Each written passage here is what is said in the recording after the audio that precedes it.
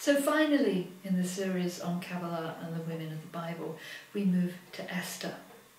Esther has her own book in the Hebrew Testament, in the book of Kings, the book of Esther, and she's placed here at Hesed, the place of honour the Sabbath and keep it holy.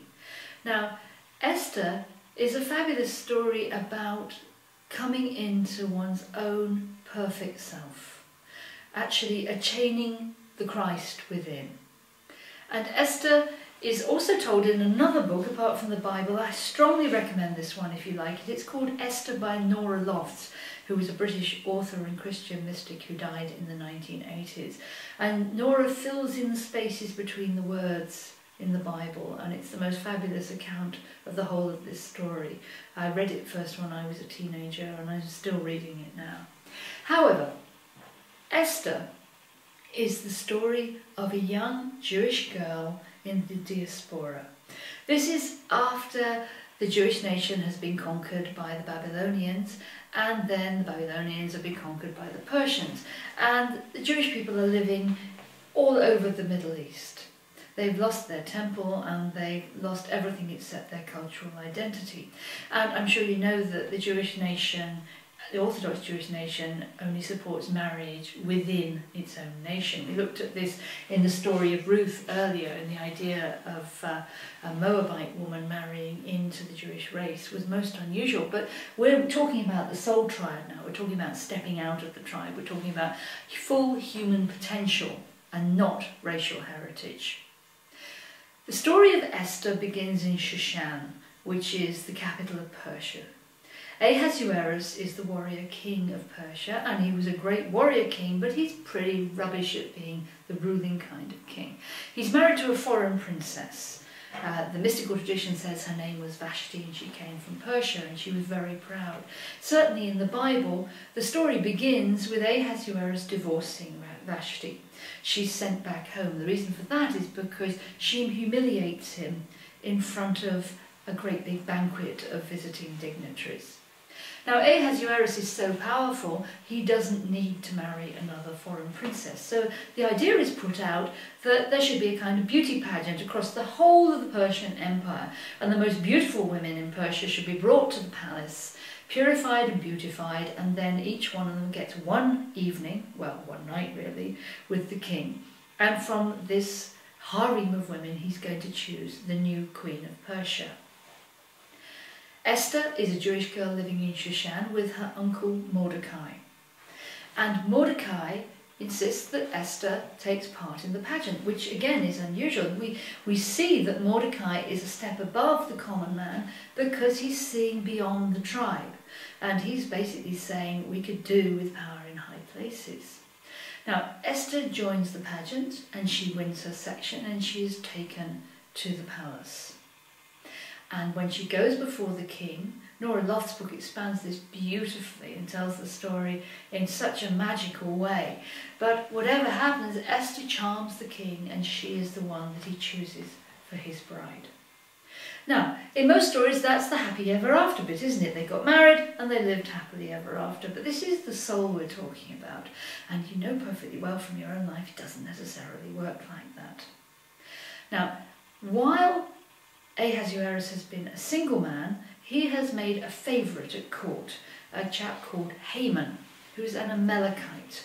Now, the Amalekites are age old enemies of the Jews. They were displaced from the Promised Land when the Jews took over in the Promised Land after the exile from Egypt. And Haman hates all things Jewish. And it's quite clear from the story that Haman has very great power over the king. And Haman learns to hate Mordecai more than any other Jew simply because Ahasuerus has made Haman very, very powerful in the kingdom and everybody should bow to him. But Mordecai, now that Esther has become the queen of Persia, waits outside the gate of the great palace every day to hear news of the queen. Doesn't say he's her relative because Mordecai has told Esther not to tell anyone she's Jewish. This is an important part of the story because Esther has gone into her queenship actually denying her foundation. Ahasuerus doesn't know who she is. Now, this is a good thing from the point of view that he's loved her unreservedly for who she is. but she hasn't sort of owned up to her baggage, if you like, which is her tribal background. So Mordecai is waiting outside every day and saying, How is the queen? How is the queen? How is the queen? And Haman writes out every day, and Mordecai will not bow to Haman. Now, Judaic nation has often been called a stiff-necked people by the Judaic nation itself. And it's Mordecai's action which brings on the rest of the story because he won't bow to Haman and Haman is absolutely furious with him. And it would be very easy for Haman just to take out one little old Jewish guy, not a problem, except that while he's at the gates, Mordecai overhears a plot to kill the king. And he passes a message of that plot on to Esther in the palace. She tells the king, and the king is able to follow the plot. So the king says to Haman, Well, make sure that the person that who told the queen is duly recorded in all the records and that he is rewarded. Well, Haman knows that it's the little old man who's really hacking him off every morning and does nothing to reward Mordecai. So Haman has put himself in the position of not being able to have Mordecai killed because the Jews always had quite fascinating funerals that the king was fascinated by. And they would have gone through the streets and cried out Mordecai's name. So the king would have heard that Mordecai the Jew died and would remember that this was the man who'd saved his life. So Haman was kind of hoist with his own petard. However, this is a story of good and evil. Haman is unquestionably evil because in order to destroy Mordecai, he decides to plan a massacre of the whole Jewish nation. And this is a pre-Holocaust to the Holocaust, if you like. And he takes his time to persuade the king that this is appropriate, that the Jewish nation should be destroyed. And he succeeds.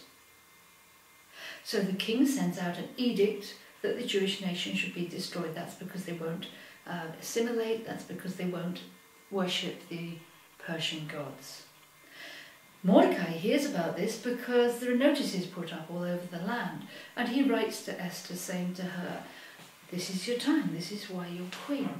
Now, we haven't heard anything else about Esther apart from the fact that the king marries her, but then she sends a message back to Mordecai saying, There's nothing I can do, the king has not sent for me for 30 days. Now, in those days, the king of Persia only got people visiting him when he said so. You didn't just turn up and say hello, and even his wife would be sent for. So, this is a young marriage, and there's no children yet, and Esther has not been sent for for 30 days. So, something has gone horribly wrong something is not working in this marriage that was supposed to be the happily ever after.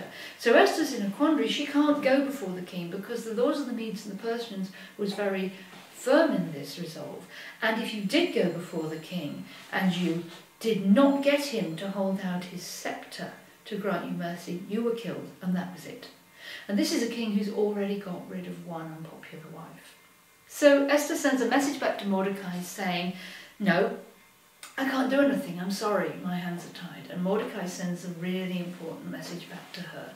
He says, if you won't do this, then another saviour will arise for Israel.